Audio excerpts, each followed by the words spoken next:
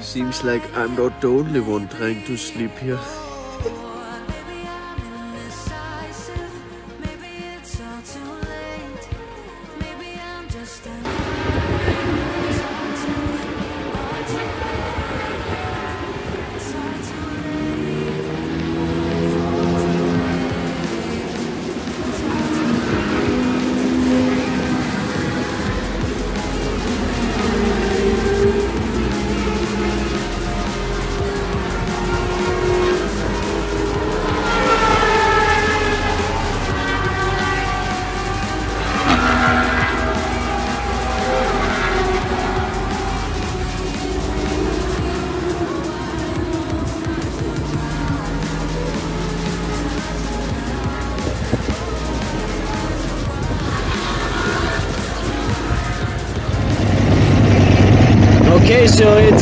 Nine minutes before first turn,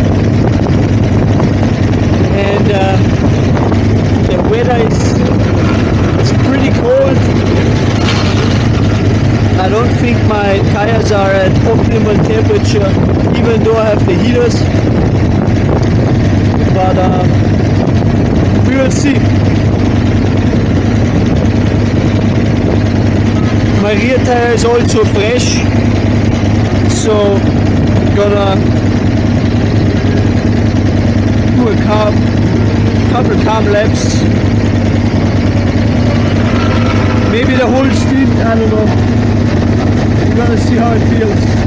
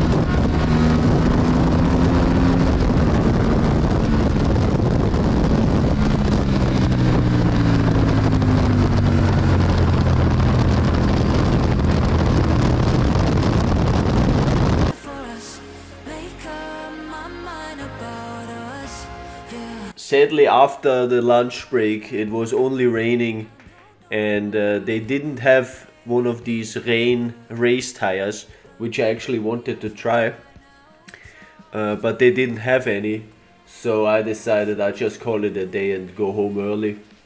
A little bit waste of money, but better than wrecking my bike because I'm pushing too hard when it's way too wet.